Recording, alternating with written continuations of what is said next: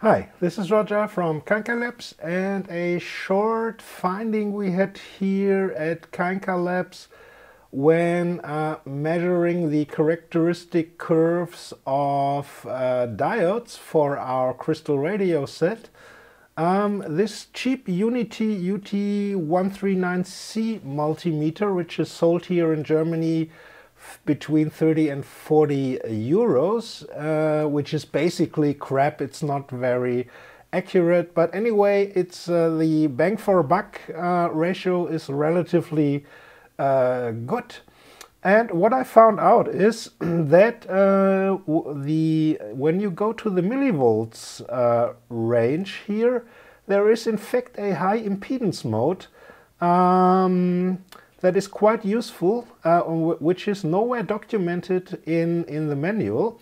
So uh, if we are at uh, volts mode, so for the higher voltages, I've connected my own Extech um, multimeter, the Multimaster 570A in ohms mode to the input terminals and at the in, in the volts range um, there we have the typical input impedance, usually 10 mega ohms. Here we have 11 mega ohms. Now let's go over to the millivolts uh, range and we get overload and this one is capable of measuring up to uh, 50 uh, ohms and I've uh, tried it out with another multimeter which can uh, measure uh, above 100 meg ohms.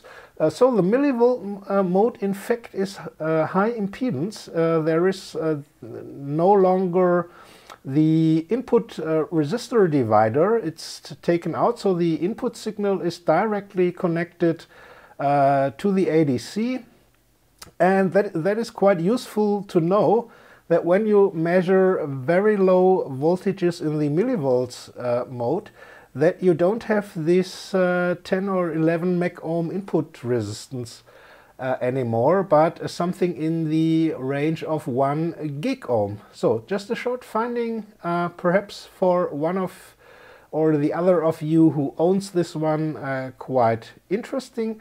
Just make a final check to see if this is also true in AC mode.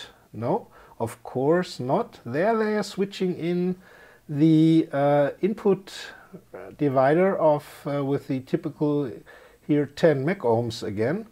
But in uh, DC mode so uh, not, good to know only in DC mode we have the high impedance mode in the millivolts range. So thanks for watching. Until next time. Bye from Roger bye from Kainka Labs